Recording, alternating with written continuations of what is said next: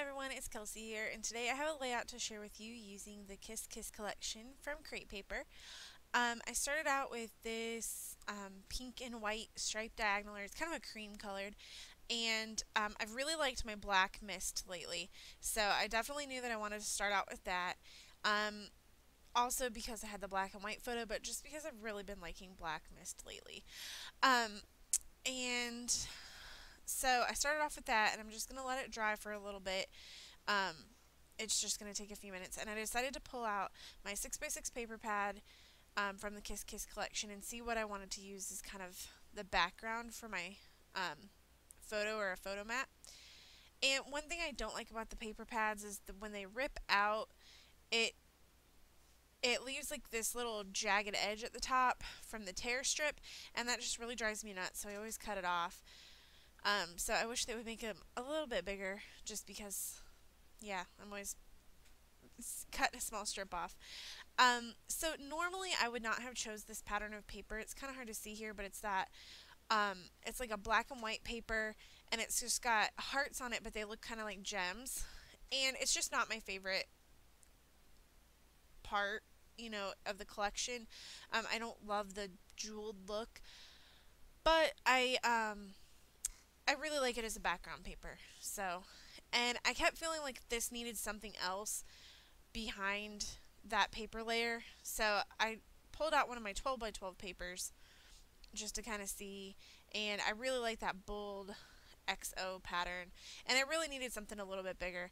I really prefer the 8 by 8 paper pads just because you can um, put a photo mat behind a 4 by 6 photo.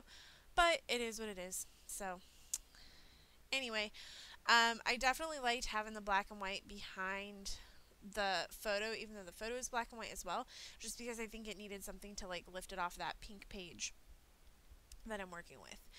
Um, I've really been enjoying using black and white photos lately. I think so many of my photos I don't like because they are um, like the colors are distracting or the light's distracting or my skin tone's not even because I don't really wear makeup.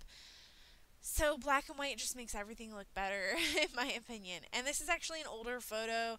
Um, it's gosh, it's probably like a year, at least a year old by now. And I've already scrapbooked it a couple times, but I just really like the photo of my husband and I, so we don't take enough photos together. This is always my complaint.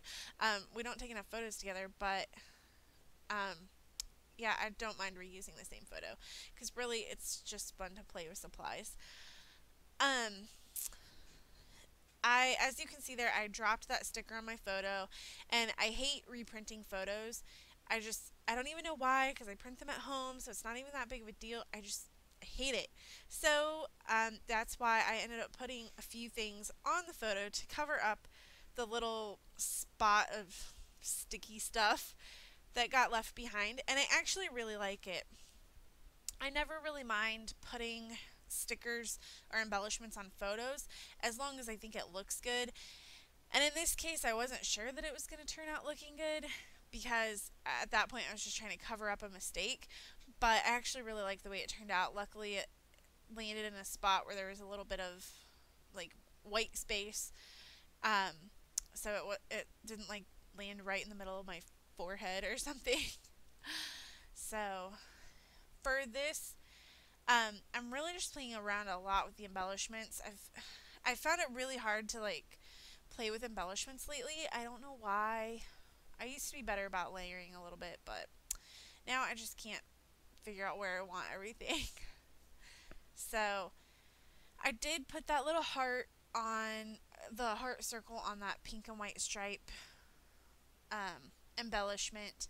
And then I took the black and white vellum striped heart and put it behind that little opening on the U plus me equals always card. And I really like the way that turned out. I just, I like the vellum, I like the stripes. I think it came out really good. And I, I love the fact that they used black and white so much for a Valentine's collection.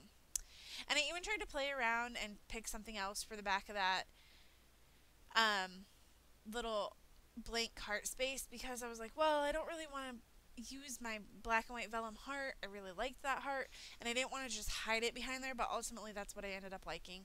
And really, there's so many supplies that I don't use that I might as well just use what I have when I get the urge to because it's going to get put away at some point and then it's so easy to forget stuff in your collection. So I'm really just trying to let go and use my supplies even if I'm like, oh, but I want to hoard that forever.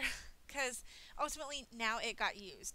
And I did cut it in half so I could always use half the heart later.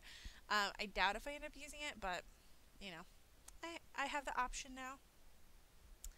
So as you can see here, I'm just trying to figure out where I want things to go and just still playing with those embellishments.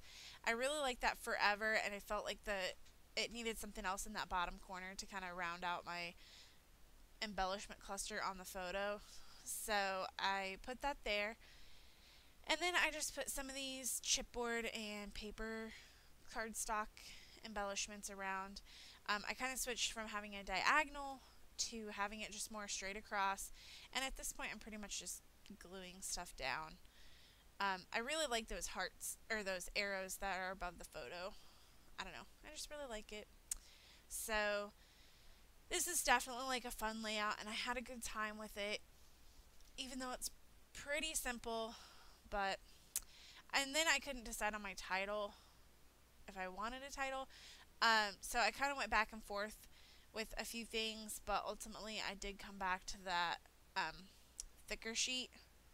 Here's the Maggie Holmes thickers, and I just couldn't find anything that I liked.